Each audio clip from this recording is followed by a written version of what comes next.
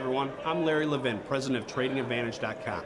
You may have seen me being interviewed on CNBC, Bloomberg, or Fox TV. I'm on there a lot talking about the market.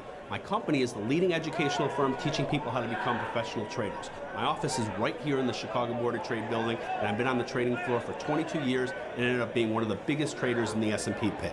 Now I spend most of my time teaching people like you how to professionally day trade mini S&P futures. I actually wrote a book, How I Made $1.9 million Trading in Only a Few Short Years.